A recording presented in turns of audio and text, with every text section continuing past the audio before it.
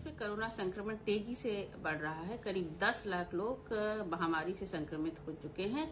गंभीर बात यह है कि इसमें से 2 लाख केसेस पिछले एक हफ़्ते में ही संक्रमित हुए हैं।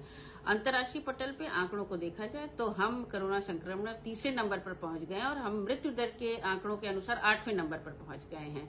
बत्तीस हज़ार तैतीस हज़ार नए केसेस एक दिन में आज भारतवर्ष में आए। उत्तर प्रदेश में आंकड़ा तेज़ी से बढ़ रहा है। करीब सत्रह सौ नए केसेस उत्तर प्रदेश में आज एक दिन में आए। समाजवादी पार्टी के राष्ट्रीय अध्यक्ष ने यह गंभीर स्थिति देखते हुए सुझाव दिया है सरकार को कि सरकारी कर्मचारी केवल चार दिन ही दफ्तर बुलाए जाए और जिनमें कोरोना कोरोना के माइल्ड संक्रमण के लक्षण दिखाई दे, उन्हें होम क्वारंटीन की सुविधा प्रदान की जाए, जिससे हमारे संसाधन जो सीमित हैं, वो गंभीर मरीजों के इलाज में हम लगा सकें। कोरोना एक महामारी है, मिलकर हमें इसका सामना करना है और एक सार्थक रोड मैप बनाना पड़ेगा कि हम इस बढ़ते हुए संक्रमण को तुरंत रोकें।